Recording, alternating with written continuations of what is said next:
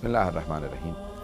After the Ashura, the 13th of um, Muharram is extremely important. It is the day of the burial of the Shuhada of Karbala.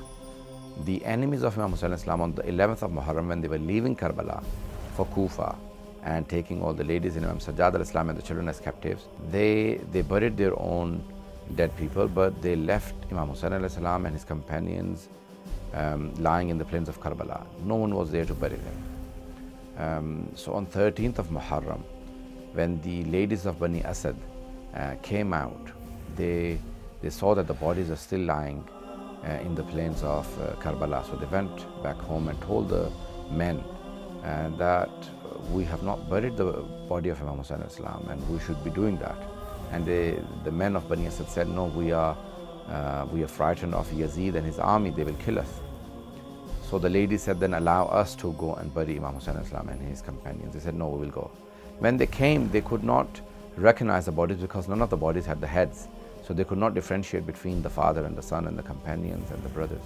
So while they were waiting, this, they, they saw someone is coming from uh, the side of Kufa, and that was Imam Sajjad al-Islam. He came and he went through all the bodies and he uh, stood next to the body of Imam Hussain Islam, dropped himself on the floor and uh, spoke to Imam Hussain and said what happened after, uh, after his shahada that Imam Sajjad was uh, placed in shackles and his uh, aunts were, uh, were taken as captives and uh, he was lashed on, on his back. So he said those words and he then started guiding Bani Asad where to bury the bodies and he said this is the body of Habib ibn Mudahir.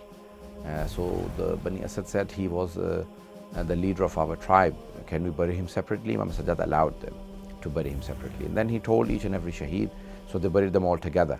And then they came and said there is one body which is next to Euphrates or far away and uh, it has been hit so many times so badly that if they try and pick that body up and the parts of the body start to, to, to break and he said that is the body of my uncle Abbas and it should be buried there. And then they also came with the, a body and they said who and he said this is uh, Ali Akbar my brother and then also a child and he said this is Ali Asghar and Ali Asghar is to be buried on the on the chest of my father. So Imam Sajjad then said, you all um, go far away and he placed a mat on the ground and he placed the body of Imam Hussain salam on the, on the mat and he gathered together all the parts of the body of Imam Hussein Islam and he placed them on that mat and then he buried Imam Hussein Islam himself.